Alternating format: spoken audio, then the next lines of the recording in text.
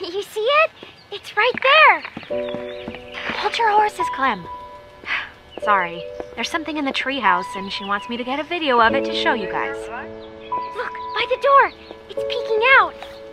I. I think it's. Yep, got it. Oh, there. Look at there that. it is. Do you Wow. see it? Spoiler, it's a raccoon. Yeah. Oh, no, no, no! Here, your mom wants to talk to you. Hi, Mom. Hi, hon. What's in your treehouse? Baby raccoon.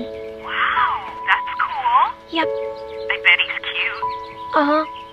Well, make sure you don't try and touch him, okay? Okay, gotta go. Talk to you later. I miss you. Don't worry, sweetie. We'll be home in a few days. Okay, see you soon.